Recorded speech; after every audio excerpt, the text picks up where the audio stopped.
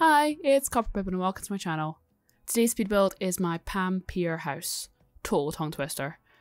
I don't know about anyone else, but I fancy some sunshine and beaches. It's going to be a little while before I can actually have a good holiday, so I decided to make this beautiful beach house in The Sims. This could also be turned into a vacation rental for your Sims, if they really want to just get away for a couple days and don't want to live the life.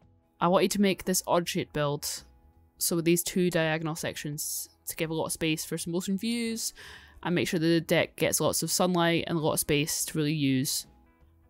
I kept everything in wood tones for the floor and the wall and then a thatch roof to give it the full beach house vibe. And I love it just sitting in the water. Each part of the house is connected to the back deck so you really feel like there's three separate structures just pushed together. I wanted to give it the luxury feel and really push the beach style. So we've got all your main needs included, like a fancy big kitchen, nice TV, nice computer. Also having on the deck, we've got lots of space. We have a big barbecue and then a fire pit to really enjoy your evenings. I can totally imagine this would be such a great place to visit. If you have any ideas for any future videos I'd like to see, leave me a little comment. I hope you enjoy the rest of this video. If you do, give me a little like and don't forget to subscribe. Thanks!